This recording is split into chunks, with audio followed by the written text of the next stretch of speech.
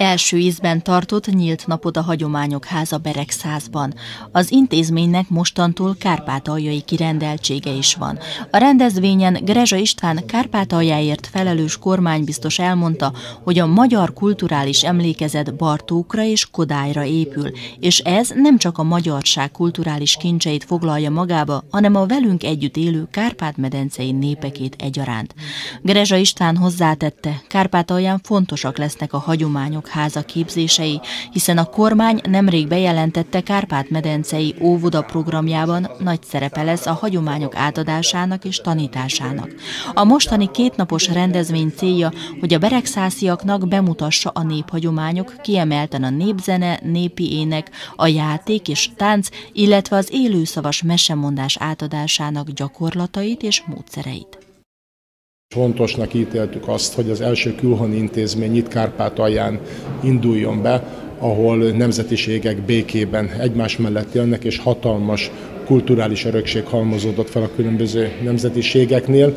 Másrészt pedig egy olyan iskola és óvoda pedagógiai, módszertani képzésről is számot fognak adni itt a Hagyományok Háza munkatársai, amelyek például a most induló Kárpát-medencei óvoda programban is kiválóan hasznosíthatók lesznek. Magyarországi küldöttség érkezett az Ungvári reptérre, hogy tárgyaljanak a légi kikötő jövőjéről. A debreceniek szívesen együttműködnének Kárpátalja egyetlen polgári repülőterének üzemeltetésében. A vendéglátók hangoztatták, a reptér a megye önkormányzati tulajdonában van, és az itt élők érdekeltek annak stabil működésében. A magyar fél kérdésére, hogy jelenleg mely útvonalak azok, melyek iránt érdeklődés tapasztalható, régiónk vezetői kifejezésében kifejtették leginkább a megyeszék helyett Kijevvel összekötő, mint egy ezer kilométeres légi folyosó felélesztésére, illetve Prága és Budapest felé közlekedő járatokra van igény. De Ukrajna más nagyvárosait, illetve a nálunk közkedvelt törökországi üdülőhelyeket is jó volna összekötni légi útvonalakkal. Verebes Ernő Gerendák című előadásának premierjével indul a május Beregszászon a Kárpátaljai megyei Magyar Drámai Színházban. A művet május 12-én pénteken 18 órától mutatják be. Május 15-én a Lila Akác című darabot láthatja a közönség.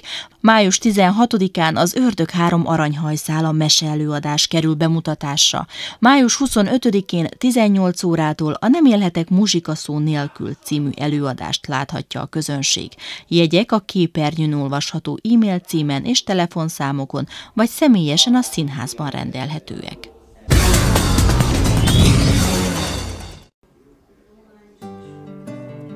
Soltész Péter ungvári festőművész alkotásaiból meríthettek ihletet azok a fiatal egyetemisták, akik ellátogattak a Kárpátaljai Magyar Diákok és Fiatal Kutatók Szövetsége által rendezett ihletés programsorozat első állomására.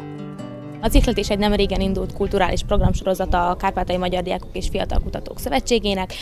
Rendszerint négy vagy három vagy négy programból szokott állni, ez a képkiállítás, irodalmi est és egy zenei est, és azt szeretnénk vele elérni, hogy a, az mostani, a most élő és most alkotó költőket, festőket és zenészeket közelebb hozzuk a diáksághoz. Bár megtört a hazánkat sújtó mínoszi átok. Az irodalomkedvelők a Kovács Vilmos Irodalmi Társaság közreműködésével ízelítőt kaptak a kárpátaljai fiatal költők és írók mindennapi életéből.